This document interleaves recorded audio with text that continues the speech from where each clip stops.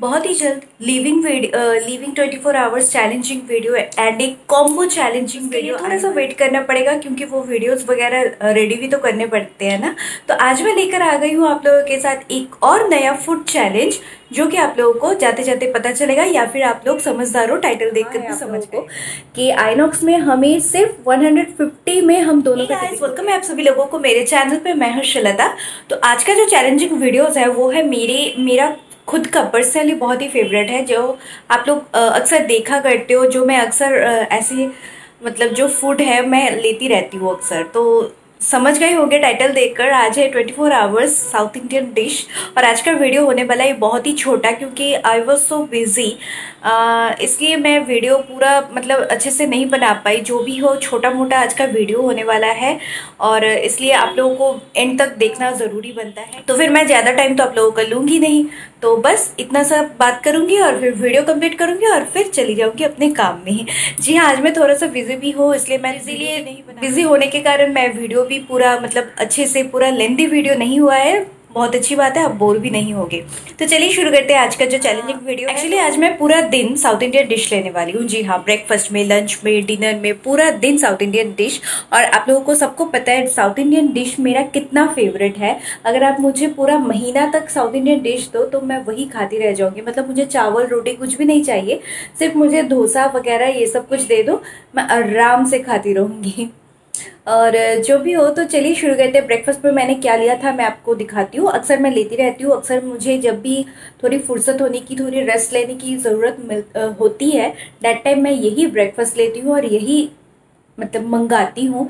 आज थोड़ा ज़्यादा ही मंगा लिया है। सॉरी फॉर द वॉइस देखकर आप लोग समझ गए होगी कितना टेस्टी एंड यमी था। जी हाँ डोसा वगैरह मतलब मेरा बहुत ही फेवरेट है और ये बहुत ही नॉन ऑयली मतलब एकदम कम ऑयल में ये बनाते हैं ये डोसा और एकदम पतले पतले होते हैं। आराम से तीन तीन डोसे में आपका पूरा पेट फुल ऑन हो जाता है और एक प्लेट ट्वेंटी फाइव रुपीज़ में आता है। जी हाँ एक प्लेट में तीन डोसा आता है।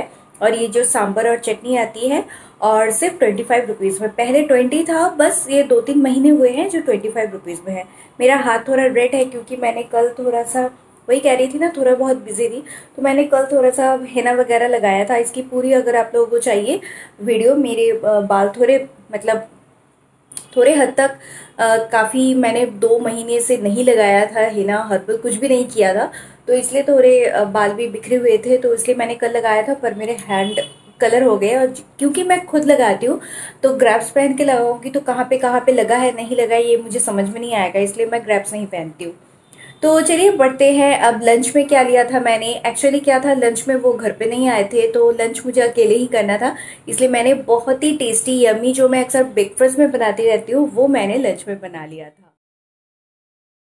तो आप लोगों ने देख लिया लंच में मैंने उपमा बनाया था आराम से आप नींबू के साथ थोड़ा सा थोड़ा सा शुगर मैं लेती हूँ एकदम थोड़ा सा उसमें डालती हूँ और नींबू के साथ अच्छे से मज़े लेकर आप उसे टेस्ट आ, मतलब एंजॉय कर सकते हो। उसके साथ साथ मैंने मूवी भी देखी है जब जब वो घर पे नहीं रहते मैं अकेली लंच करती हूँ ना या फिर ब्रेकफास्ट जो भी करती हूँ मैं आराम से लैपटॉप के सामने बैठकर अपना खाना एंजॉय करती हूँ और मूवी वगैरह सीरियल जो भी होता है मैं उसे एंजॉय करती हूँ। क्योंकि अकेले खाना किसी को नहीं पसंद है। वो रहते हो तो उन, उनके साथ बात करते करते खा लेते हैं। अगर नहीं रहते हो तो मैं मैंने मतलब आराम से मूवी सीरियल जो भी हो एंजॉय करके ले लेती हूँ। और शाम को हम थोड़ा सा बाहर गए थे एक्चुअली मूवी लगी हुई थी। बंगाली मूवी वो भी बॉम्बे में देखने को मिलेगा, ये पता नहीं था सच में। बहुत ही प्यारी मूवी थी बंगाली में उसका नाम है ब्रह्मा जानन गोपोन कॉमोटी बहुत ही प्यारी मूवी थी रीतावरी चक्रवर्ती की मूवी थी। बहुत दिनों के बाद उसकी एक मूवी देखी। एक्चुअली उसका मैंने एक सीरियल देखा था पूरा कंप्लीट किया था। बहुत ही अच्छी एक्ट्रेस है। उसके बाद मूवी वगैरह शायद मैंने नहीं देखा था या फिर देखा भी होगा हुई थी तो हम लोग वो कह रहे थे चलो देख कर आते हैं। मैंने कहा पहले मैं ट्रेलर देखूँगी कैसी बंगाली मूवी देखने जा रहे हैं? तो अच्छे से उसको जान पहचान ले लेना चाहिए। तो इसलिए ट्रेलर देखा तो बहुत ही पसंद आया। सच में मतलब किसी किसी जगह पे तो शायद होता भी है और ये जो मूवी ट्रू स्टोरी के ऊपर है और इंग्लिश में सब है, अगर आप चाहो तो देख सकते हो। एक्चुअली हम लोग जहाँ भी देखते हैं, जो हमारे पंडित जी होते हैं, वो लड़के ही होते हैं, ब्राह्मण ही होते हैं। पर अगर एज अ लेडी भी अगर कोई मतलब पंडितायन हो सकती है, वो भी पूजा कर सकती है, उन्हें अच्छे से मंत्र वगैरह पढ़ना आता है तो वो अगर अच्छे से पूजा कर सकती है तो इसी को लेकर मूवी है।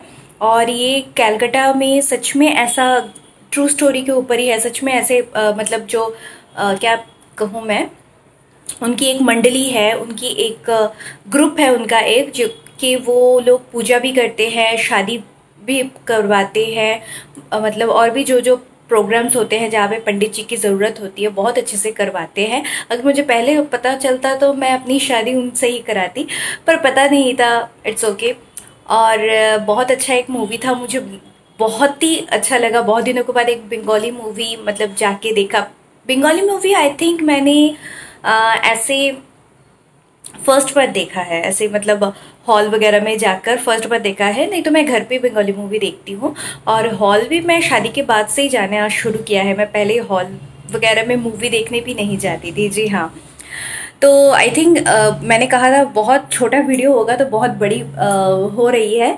पर क्या करिए यार आप लोगों से जब बातें करती हूँ ना तो मतलब बातें ख़त्म ही नहीं होती। एक के बाद एक टॉपिक चला ही जाता है तो जो भी हो। और सबसे अच्छी बात क्या है पता है? जो मैंने टाइटल में भी कहा है आप लोगों को कि आइनॉक्स में हमें सिर्फ़ 150 में हम दोनों का टिकट हो गया है। वो कैसे? जी हाँ 150 में टिकट हो गया है। अगर वो आप लोगों को डिटेल में जानना है तो प्लीज़ आप लोग कमेंट करिएगा। तो मैं बता दूँगी और मैं हल्का फुल्का जितना जानती हूँ मैं उतना बता देती हूँ क्योंकि टिकट तो मेरे हस्बैंड ने किया है। एक्चुअली जो एटीएम कार्ड क्रेडिट कार्ड से हम लोग जो बाई करते हैं, जब भी यूज़ करते हैं तो उसमें कुछ पॉइंट्स वगैरह मिलता है तो उनके पास बहुत सारे पॉइंट्स जमा हो गए थे। तो इसलिए बस उससे ही टिकट वगैरह कर लिया था। अगर आप लोगों को डिटेल में जानना है तो आप लोग मुझे कमेंट कीजिएगा। मैं ज़रूर उसके ऊपर एक छोटा सा वीडियो बना दूँगी। उनसे इन्फॉर्मेशन पूरा लेकर या फिर उनके थ्रू मैं आप लोगों को बता दूँगी। और बस बहुत मज़ा आया। मतलब 150 में आइनॉक्स में बैठकर मूवी देखो। तो शाम को वही इसी बात को लेकर मैं इतना चली कि शाम को इसलिए कुछ खाने का मतलब मुझे रसम बनाने का बहुत मतलब मन था कि मैं रसम बनाऊँगी, क्योंकि साउथ इंडियन डिश में रसम ना बनाओ तो कैसा होगा, पर शाम को बनाने का मतलब मेरा प्लान था। पर हम लोगों का सडनली ये प्लान हो गया कि चलो मूवी देखने चलते हैं। इसलिए मैं रसम नहीं बना पाई तो किसी और दिन ये ज़रूर मैं एक और बार पार्ट टू कर लूँगी, कोई बात नहीं है, रसम भी बनाऊँगी और एंजॉय भी करूँगी अच्छे से। तो वही बात है, हम लोग मूवी वगैरह देखकर रात को डिनर हम वहीं से करके आए थे तो इसलिए घर पे आकर डिनर बनाने का भी मेरा कोई झंझट नहीं था। और डिनर में क्या क्या, लिया था, वो तो आप लोगों को ज़रूर देखने को मिलेगा, और उसकी छोटी सी झलक आप लोगों को भी मिलेगी कि मैंने वहाँ पे आइनॉक्स में कैसे इंजॉय किया। तो जी हाँ चलो देखो आप।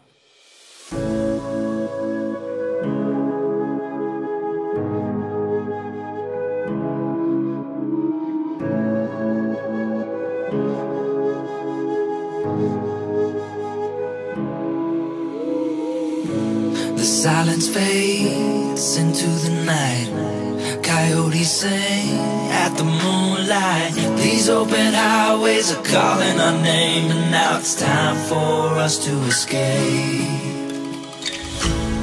Feel the wind touch our face अच्छा खासा डिनर था मतलब उत्तपम खा के तो पेट भर गया आप देख भी सकते हो कितना बड़ा है साइज़ में भी कितना बड़ा है टेस्टी था नारियल की जो चटनी होती है ना वहाँ की आई थिंक ओ इसका uh, नाम था मालगुडीज जी हाँ शॉप का नाम था मालगुडीज वहाँ से हमने लिया है और उस एरिया का जो इसका मैंने वीडियो किया है वो एरिया पूरा स्ट्रीट फ़ूड एरिया है। जो भी स्ट्रीट फ़ूड वगैरह फ़ेमस है वहाँ पे मिलते हैं। जैसे आप लोगों ने देखा मैकडोनल्ड्स वगैरह wow centre momo centre wow momo centre के और भी बहुत सारे थे। मतलब ज़्यादातर लोग पिज़्ज़ा वगैरह फ्रेंच फ्राइज ये सभी खा रहे थे। पर हम लोग जब भी बाहर जाते हैं साउथ इंडियन डिश बहुत ही इंजॉय करते हैं। जी हाँ तो हम लोगों ने आराम से मतलब उत्तपम ट्राई किया बहुत ही अच्छा लगा। और ये ऑनियन टोमेटो उत्तपम था।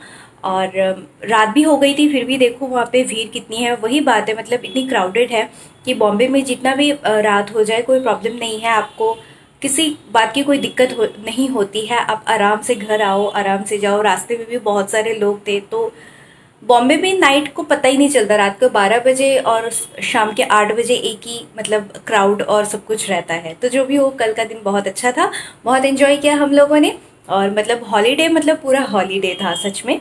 और थोड़ा सा बिज़ी ज़रूर थी, पर बिज़ी रहने से क्या होता है, पर काम भी होता है आपका तो बहुत ही मज़ा आया। और सबसे अच्छा लगता है आप लोगों का कमेंट्स जो आप लोग प्यारे प्यारे कमेंट्स करते हो, आप लोग अपने कीमती टाइम से निकाल कर मुझे थोड़ा सा टाइम देते हो, वही आप लोगों के मतलब मेरे लिए बहुत ही मैं उसके लिए बहुत ही शुक्रगुजार हूँ। मतलब शब्द नहीं मिल रहे थे मुझे। तो जो भी हो, चलिए ज़्यादा बुक बुक नहीं करती हूँ। वैसे आप लोगों का मैंने बहुत टाइम दे लिया है। अगर वीडियो अच्छा लगा तो लाइक करना मत भूलना और वीडियो को जितना हो सके शेयर करना। जो लोग नए हो सब्सक्राइब करना और बहुत ही जल्दी आप लोगों के लिए मैं एक और लिविंग चैलेंज और एक बहुत ही मज़ेदार मज़ेदार चैलेंज लेकर आने वाली हूँ।